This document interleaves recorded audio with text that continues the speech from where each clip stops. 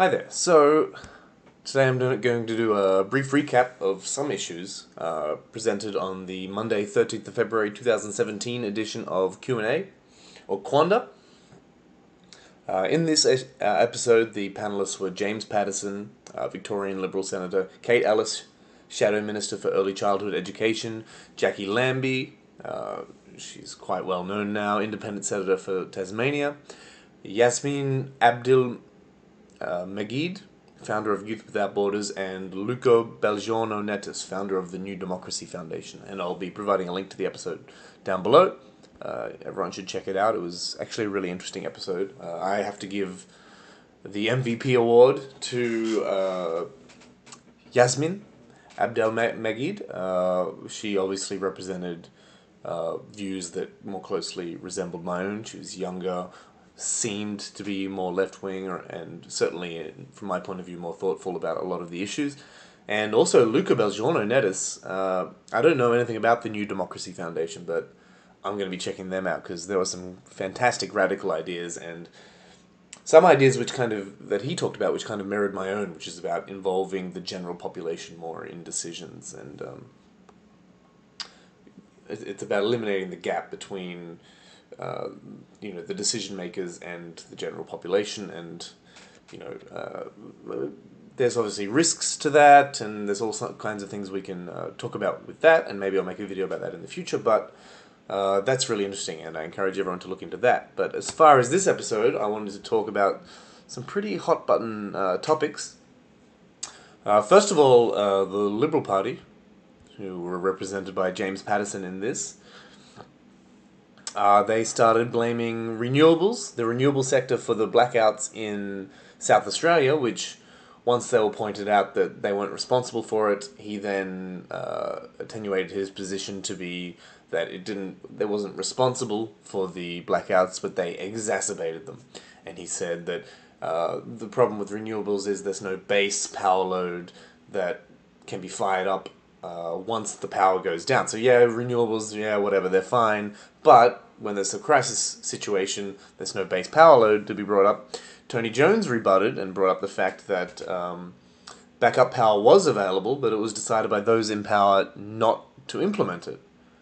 Uh, I believe that uh, the Labor member, uh, Kate Ellis, suggested that that was because of pri- privatisation, but um, at this point, uh, James then changed. He, he avoided he avoided this answer. So Tony Jones said uh, the power was available, but it wasn't used, and then James totally deflected the question, saying, oh yeah, there's some there, but most of them have been shut down by the Labor and the Greens, and you know I'm not using his exact words or paraphrasing correctly, but this was his point that that supposed dirty power stations have been shut down by the left, and therefore they couldn't be used.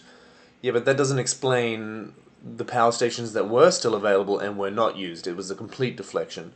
Uh, he might have some broader point, uh, especially with regard to jobs, uh, about shutting down of all the coal-fired power plants and the thermal solutions to these issues, but that's it was unrelated to this, and he fa- absolutely failed on this point. Um, there was a great discussion with renewables, and particularly about the infrastructure being in place for renewables, and I think it's something that. Uh, I mean, in- infrastructure is something that I think, in general, the left seem much more um, inclined to in to at least have, entertain the idea of investing in infrastructure. So, uh, the idea of there's a lot of arguments by and James made the arguments, uh, the Liberal Party member, that um, the infrastructure or the technology just isn't in place yet. So therefore, we need to still focus on coal and on fossil fuels and prop up those those industries for jobs. But the issue is the it's it's kind of a self perpetuating cycle here. Is if we don't invest in the infrastructure, then coal will always be the more cost efficient um, uh, uh, form of power. And this is actually, I, I found this, this has been the debate, and it's kind of been skipped over a lot, talking about the North Dakota uh, access pipeline. Uh, in America, with all the protests going on, where people say, oh, they should have consulted with the Native American tribes.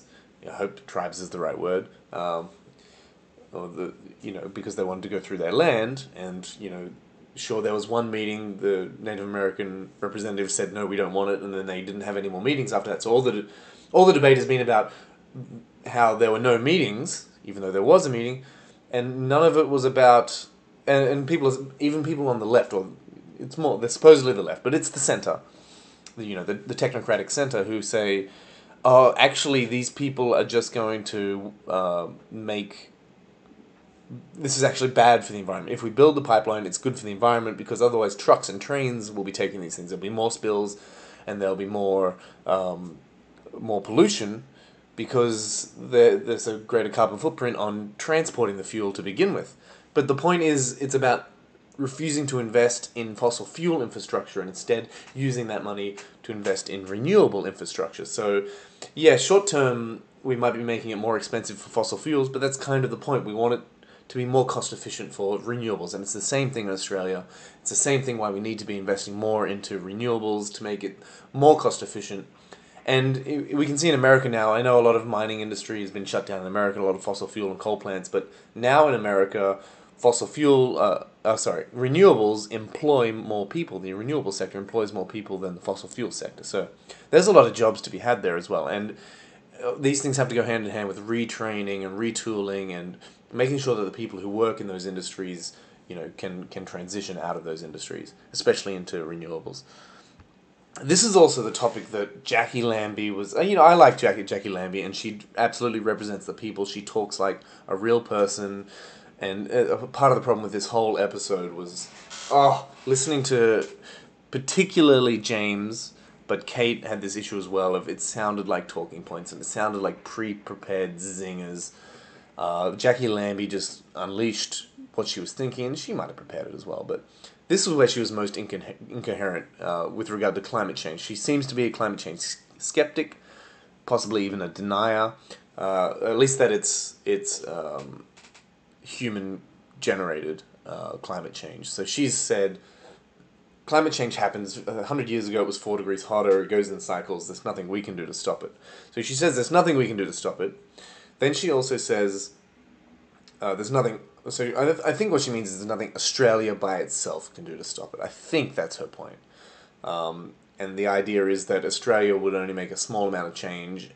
And, but then she says, I also reject the Paris Agreement. And then on the next breath, she says, the entire world needs to act, not just Australia. So her, her point seems to be that Australia by itself can't do this alone, but then she rejects the Paris Agreement, which every country has made an agreement, and then she says every country needs to make an agreement. It can't just be Australia. It's completely incoherent, makes no sense, and you know she looked kind of. She looked a little bit foolish, in my opinion. She looked more foolish there than when she was talking about Sharia, which the Sharia law part was that was the big the big issue on social media. But we'll get to that later. Um, she did bring up the inter- an interesting point on nuclear power. Now I'm I, I I've read quite a bit about nuclear power. I, it's a great alternative. It's very safe. It actually has less deaths uh, than uh, per you know energy, energy generated than uh, any other form of power, including renewables. Uh, and most of those deaths came from one incident. But then again, there's ongoing problems in Japan. There's all kinds of baggage associated with it. But the problem with nuclear power in Australia, at least, is had we started investing, it's the same thing with infrastructure. There's no infrastructure in place. Uh, we don't have the tools, we don't have the resources, we don't have the people, um, the expertise to really get that industry going anytime soon. So we could start now, but by the time it really starts going, you know, in- infrastructure is already getting to the point where it's about to be the most cost effective, cost efficient form of generating power. And so my position is that we should focus on renewables. I'm not opposed to nuclear power, and there are some benefits. There are some uh, problems with it too, but you know, if this were the United States, I'd say we need a plan of nuclear and renewables and really phase out fossil fuels and especially fracking and coal seam gas. But um, yeah, in Australia it seems less valid. I'm open to the argument, but yeah, I'd l- I'd really like to see focus on renewables. All right, the next part of this is about the childcare and omnibus bill. There's not too much to say here that wasn't said on the show. Uh, my belief is that childcare should be a right for all people. Uh, not only would it promote um, greater uh, participation in the workforce. Uh, it would be good for the children. It would also promote equality, I think, between men and women, because women disproportionately take, you know, responsibility for raising the children, even in this day and age. Uh, and so I, I think it's something that should be government provided and not just subsidized. Uh, but this we're talking very expensive. So I I don't know the full particulars on that, but that's where we need to be working towards is what I'm saying. That's what we should be striving for. Now the Liberal Party, and they were really called out for it on this episode. They were taking the approach that we're going to cut. This is this omnibus bill. They're going to cut benefits to aged care and the uh, and also uh, uh, family tax benefits, and they're going to be redirecting it. Was James Patterson's words, uh, so that people are encouraged, you know, encouraged to go back to work. Uh, but what this really does is it doesn't encourage them; it forces them to go back to work. What actually encourages people is providing uh, childcare. If if parents don't have to be at home looking after their children, then they can go back to work. Then they can engage in their own personal entrepreneurialism and start their own business, contribute to the economy. They can learn, they can go back to university, they can study, you know, they can become a contributing member of the economy. That's what actually encourages people to work, uh, from my point of view, the way I see it. Um, and obviously, we shouldn't be cutting benefits to the poorest and the most vulnerable. We should be expanding them. Uh, and we should be finding other avenues for funding, namely the very wealthiest, the largest corporations. Um, then I guess I can't. I can't. I didn't really want to talk about it in this video. I kind of discussed it a little bit in the last video, which coincidentally came around the same time as this, but we have to talk about Sharia and Islam. Uh, Jacqui Lambie, I, I think she doesn't understand what Sharia law is, and Sharia, um, from my understanding of it, is that um, it's Sharia is much more all encompassing than the judi- the judicial system we hear about with ISIS, with beheadings and things like that. It, it is uh, how a Muslim lives their life, basically, and that's the point that I've forgotten her name. I'll just get it right now. Uh, Yasmin brought up, uh, and she was she, she she made an excellent point, and I thought um, Jacqui failed on this point as well. She Jacqui was great on other points, but I think she failed on this and on climate change. Um, and Yasmin made a fantastic point about culture being different to religion, and they're kind of interrelated and they affect one another, but there, you know, there's a de- demarcation between the two. Sometimes it's blurred in some areas more so than others, but, and I say this as an atheist who's, you know, a, a in a general way opposed to all religion, but um, not not to a person's right to um, to um, be religious. Um, Yasmin made a tried to make a comment, or she made a comment saying that uh, Islam is the most feminist culture. I believe that's what she said, uh, and her argument for that was it was the first really to prov- to provide various forms of equality, uh, and that was wonderful. And uh, the golden age of Islam, it was certainly the most progressive society in the world. However, modern progressive society has certainly if it's not at a greater level of equality, it, it, okay, it, it's at a greater level of equality today. Uh, using past precedent doesn't mean that um, it is still the, you know, the highest form of feminism, and there's many many forms in uh, modern society that are not equal, and we do need to work, and we constantly need to be striving towards more equality. But I think religion in general. Uh, it, uh, has a much worse form of patriarchy involved, and it has that dogma attached to it, which prevents uh, equality in society in general.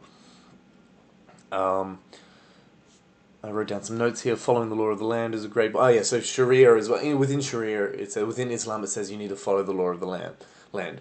Um, most people who hear that understand that, and most people aren't against the average Australian Muslim, but there's this fear, this moral panic, and um, people really miss this point. So then people shift their argument to, well, it's the um, Islamists who are politically inclined. They don't want to use violence to establish Sharia, but they want to establish Sharia through the court system, or they want to have their own judicial system, uh, which you know, I, I'm opposed to that. I'm a I'm a secularist. I want the separation of church and state. But as far as I'm concerned, the more pressing matter right now is the fact that the Christian right, right now in Australia, especially in America, you know, all around the world, the Christian lobby, the the Christian uh, influenced politicians are actually affecting our policy right now. There's they have uh, Malcolm Turnbull's hands tied behind his back. You know, it's the reason why we don't have same sex marriage in Australia. You know, it's it's the reason why we don't have euthanasia laws in Australia. We don't have progressive euthanasia laws. We don't have uh, universal uh, pro- uh, laws providing uh, safe abortion to women. Uh, so I'm more concerned right now about the Christian right, but I'm opposed to religious influence uh, altogether in government. And I want to bring up a final point about this, and this is the point that you know people who criticize Islam, and you know I criticize Islam, I criticize all religions, and they're they're afraid of being called Islamophobic. And Yasmin brought up a great point that it doesn't necessarily make you Islamophobic to criticize you know, uh, these dogmas.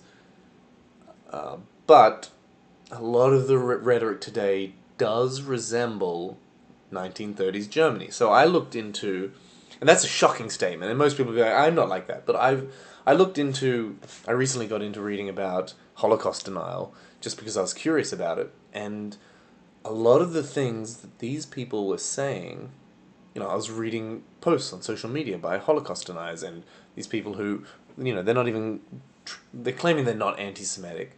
And a lot of the arguments they use are exactly the same as a lot of arguments that these people from these Reclaim Australia types use. Even people like Sam Harris use. And, and I'm a supporter of Sam Harris. Um, and uh, down to things like, you know, in 1930s Germany, they had. I read this article recently, and I should post a link. If I find the link, I'll post it down below. Uh, and it was describing the conditions of Germany as it was taken over by the Nazi Party, but it describes them from the point of view of somebody who was living in them. It was written by the. It was written from someone who who grew up in there, in Germany in the nineteen thirties, and one like even things such as so in this article it talked about how they had stickers saying German firm, meaning uh, this storefront is a, is owned and operated by a German, not a Jew. Uh, so they'd have these. So it, it was all about that nationalism. It was about it was inherently anti-Semitic, and you know we don't have that in Australia today, but there's this press against halal and this this press against you know towards banning Muslims that kind of you know it, people it feels like people are suggesting similar sort of things, and it's not that I don't think those people mean to be mean spirited mean to be bigoted it's it's driven out of fear and it's driven out of uh, patriotism and you know this this desire to be good. But when it all accumulates into these systems that's when it becomes dangerous. So i just wanted to talk about that. Pretty long video today but i hope people enjoyed it. I'm all about debate discussion so if anyone sees this put a comment down below.